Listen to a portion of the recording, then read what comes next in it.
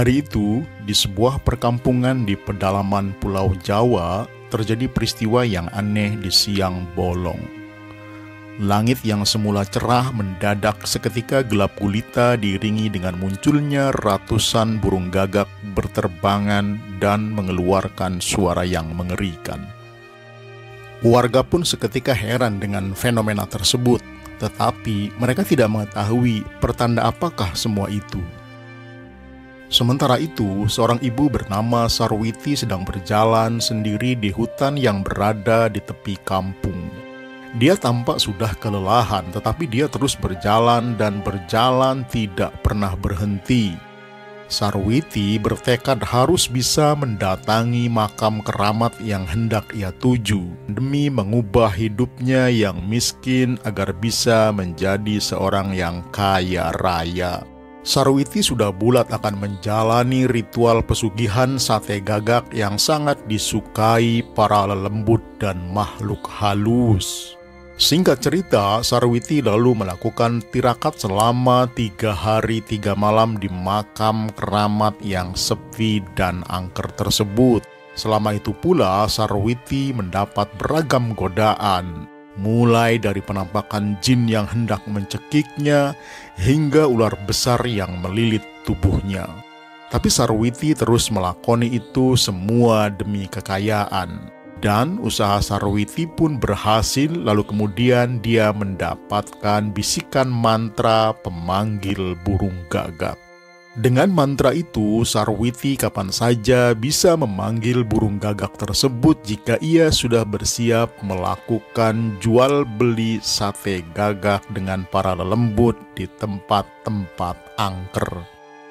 Akan tetapi, syarat yang harus dilakoni Sarwiti adalah sang penjual sate gagaknya haruslah seorang gadis perawan. Sarwiti pun lega karena dia memang memiliki anak gadis bernama Nisa. Hari pun berlalu, Sarwiti pun segera meminta agar Nisa untuk membawa gerobak sate ke tempat yang sudah ditentukan oleh Sarwiti ibunya. Sayangnya, Nisa yang taat agama sempat menolak, namun Sarwiti langsung memarahinya. Alhasil Nisa pun menurut. Dia mulai melakoni pesugihan ibunya di sebuah hutan yang angker di tengah malam yang sangat sepi. Sesuai ajaran Sarwiti, Nisa yang ketakutan mulai berteriak menjajakan dagangannya. Sang ibu mengatakan jika ada yang datang dan membeli, layani saja dan tidak usah banyak bertanya. Jika pembeli membayarnya dengan makanan ataupun minuman, Nisa tetap harus menerimanya dan jangan banyak protes. Bahkan, Sarwiti juga meminta agar Nisa memakan atau meminum pemberian pembelinya tersebut. Tentu saja ini membuat Nisa jadi semakin ketakutan. Tapi demi baktinya kepada sang ibu, Nisa pun terpaksa melakoninya. Sate, sate gagak, ucap Nisa.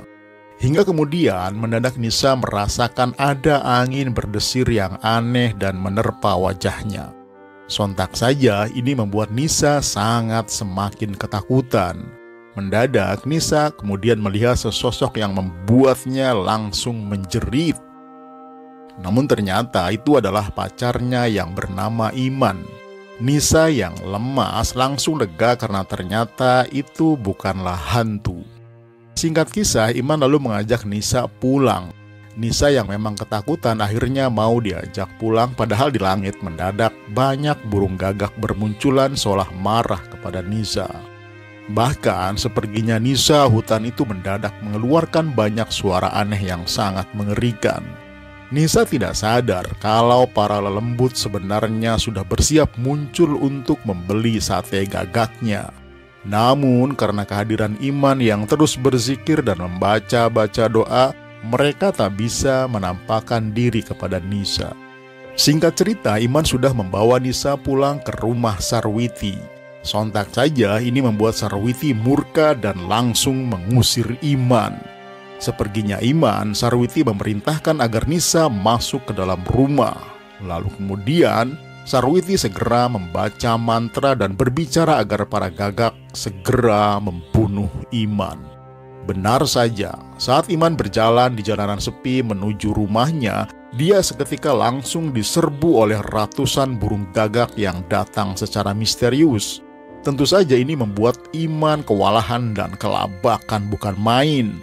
Alhasil Iman pun kemudian terjatuh dari jembatan saat dia berlari dari kepungan para gagak-gagak tersebut. Tubuh Iman yang remuk pun langsung diserang oleh gagak-gagak itu. Di tepi sungai tersebut, jasad Iman tewas dan terus dipatuki banyak ratusan burung gagak. Suasana menjadi terasa mistis karena burung itu semakin banyak dan kian bertambah dan terus merubung jasad Iman dan tak lama kemudian hanya menyisakan tubuhnya yang koyak oleh luka-luka akibat diserang gagak. Tentu saja kematian Iman ini membuat Nisa bersedih selama berhari-hari karena dia merasa kehilangan. Meski Nisa masih berkabung, Sarwiti tetap memintanya untuk bersiap berjualan sate gagak kembali. Nisa masih saja menangis saat di dapur sambil mengiris bawang dan menusuki daging sate gagak pemberian ibunya. Singkat cerita, Nisa kembali berjualan di tepi hutan angker sebelumnya hingga kemudian mendadak ada angin besar yang tiba-tiba saja datang. Saat itulah tiba-tiba muncul sosok pria misterius yang membeli sate gagak yang Nisa jual. Sosok itu tidak seram, tapi terlihat dingin dan pucat. Nisa tentu saja agak takut melihat pembelinya tersebut. Setelah dia menyerahkan satenya dengan tangan yang gemetar, sosok itu lalu kemudian membayarnya dengan sebuah minuman. Nisa yang ingat pesan ibunya langsung menerima tanpa banyak bicara. Bahkan Nisa juga langsung meminum minuman tersebut. Namun setelah Nisa meminumnya, dia merasakan badannya mendadak lemas. Lalu ia juga merasa dingin di sekujur tubuhnya sehingga dia terjatuh dan tak sadarkan diri. Nisa baru sadar ternyata dia sudah berada di rumah karena Sarwiti memang diam-diam mengikuti Nisa dan membawanya pulang setelah dia pingsan. Sementara itu, Nisa sendiri merasakan sakit di sebelah kaki dan perutnya seperti kram yang sangat dahsyat. Badan Nisa juga terasa pegal-pegal dan sangat tidak nyaman. Nisa lalu kemudian meminta untuk beristirahat tidak berjualan malam nanti tapi Sarwiti melarangnya sambil menunjukkan uang 10 juta yang sudah berada di saku Nisa yang pingsan. Sarwiti mengatakan semakin sering Nisa berjualan maka semakin cepat mereka menjadi orang kaya di kampungnya. Alkisah, malam-malam selanjutnya Nisa kembali berjualan dan selalu saja pingsan setelah menerima pembayaran makanan atau minuman dari pembelinya. Namun Sarwiti mulai heran karena uang yang ada di saku Nisa kian hari kian berkurang. Tentu saja Sarwiti kembali melakukan tirakat untuk mengetahui penyebab itu semua. Dan ternyata penyebabnya adalah Nisa yang saat ini sedang hamil setelah melayani banyak jin. Hanya ada satu cara agar uang yang didapat Sarwiti kembali banyak, Nisa harus menggugurkan kandungannya karena keberadaan janin itu sangat tidak disukai oleh para jin lembut yang selama ini membeli dan menggauli tubuh Nisa. Hari pun berlalu, Nisa kaget bukan main saat melihat perutnya semakin membuncit. Sarwiti mengatakan Nisa telah hamil dan harus menggugurkan kandungannya. Tentu saja ini membuat Nisa menolak.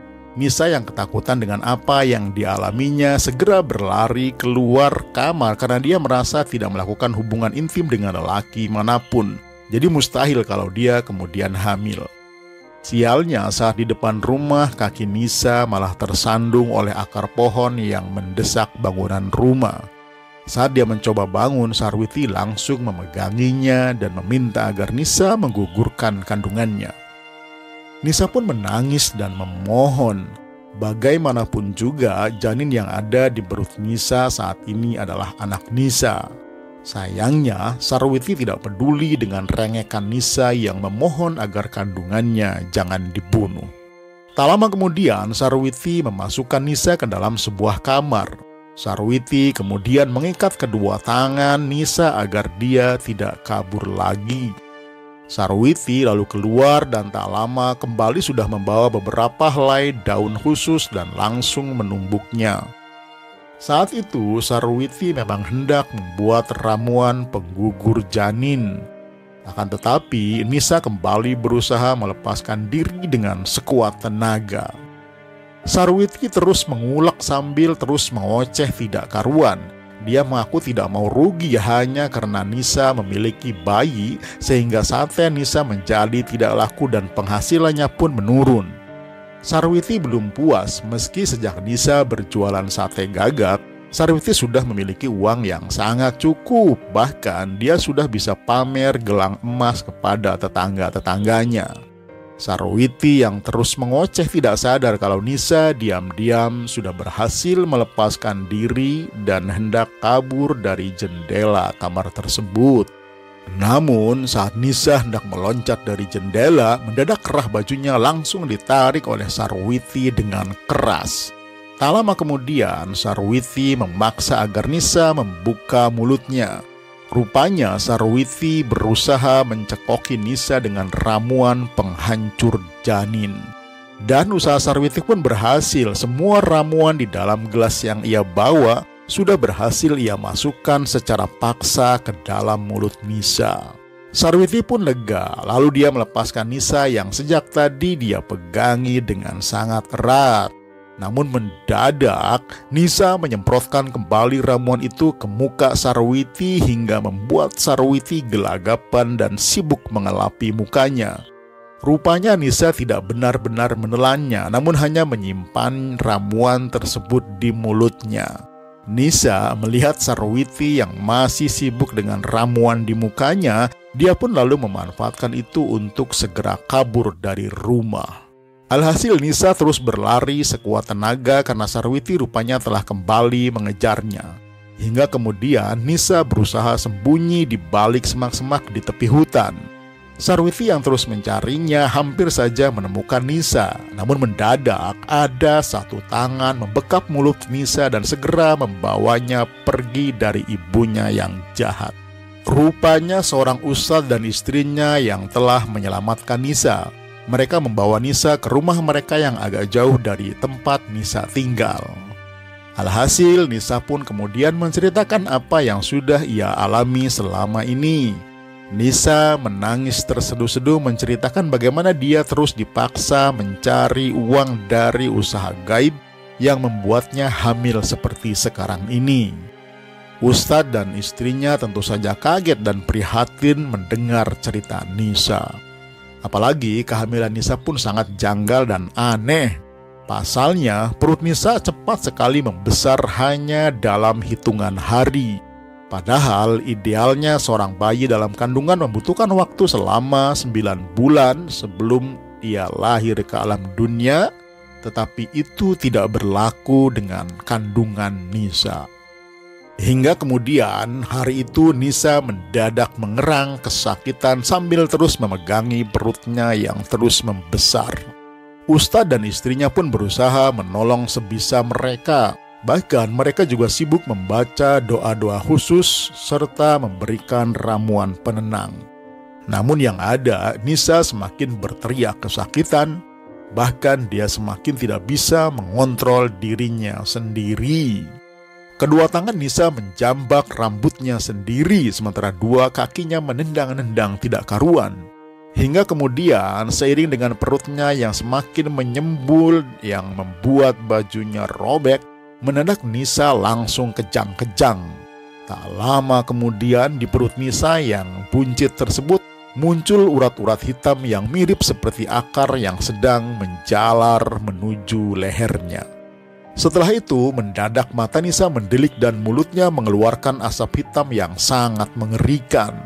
Sang ustadz dan istrinya itu berkali-kali membaca istighfar saat mereka mendengar suara mengerikan yang keluar dari mulut Nisa yang mendadak terbuka sangat lebar. Saat mulut itu menutup, perlahan akar hitam di kulit perut Nisa pun menghilang. Bahkan, perut Nisa pun kembali normal seperti halnya gadis perawan. Namun Nisa sudah tak lagi bisa membuka mata karena Nisa telah mati. Singkat cerita, Sarwiti yang diberitahu oleh utusan Ustadz datang menemui jasad anaknya yang sudah terbujur kaku. Dari sudut mata jasad Nisa nampak ada air mata yang membasahi pipinya. Bukannya menyesal karena ulahnya telah memakan korban anaknya, Sarwiti malah terus menggoyang-goyangkan tubuh anaknya. Bangun, kamu harus jualan Nisa, ibu belum kaya teriak Sarwiti. Semua orang yang melihat itu nampak menggelengkan kepalanya. Bahkan Sarwiti tak peduli dengan pemakaman Nisa karena mendadak dia khawatir dengan uangnya yang ada di rumah. Sarwiti memilih lari dan pulang untuk melihat uangnya masih ada atau tidak setelah Nisa meninggal. Alhasil Nisa pun dimakamkan di dekat rumah keluarga sang ustadz dan terus dikirimi doa-doa agar dosa Nisa diampuni oleh Allah yang Maha Pengampun. Sementara itu, setibanya di rumah Sarwiti segera masuk ke dalam kamarnya. Sarwiti sangat senang karena melihat seluruh hartanya utuh dan terlihat masih banyak. Bahkan emasnya juga masih ada. Sarwiti yang lega memeluk dan menciumi harta hasil Nisa berjualan sate gagak untuk para setan tersebut. Namun mendadak muncul burung-burung gagak dari jendela dan langsung memenuhi kamar di mana Sarwiti berada. Sarwiti kemudian langsung diserang oleh gagak tersebut. Sarwiti lalu berlari sambil memeluk kain yang berisi hartanya. Dia terus berlari dan berlari menghindari serangan gagak yang terus mengikutinya dan menyerangnya. Hingga kemudian kaki Sarwiti tersandung oleh akar dan seketika Tubuhnya jatuh ke dasar jurang dan menimpa sebuah batang pohon yang runcing. Tubuh Sarwiti seketika tertusuk seperti halnya daging sate. Dan tak lama kemudian, jasad Sarwiti langsung dihinggapi kumpulan gagak-gagak misterius itu.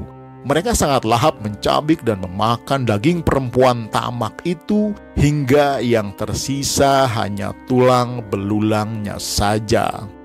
Dan cerita pun selesai.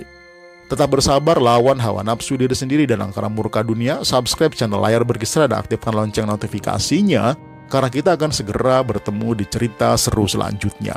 Sampai jumpa.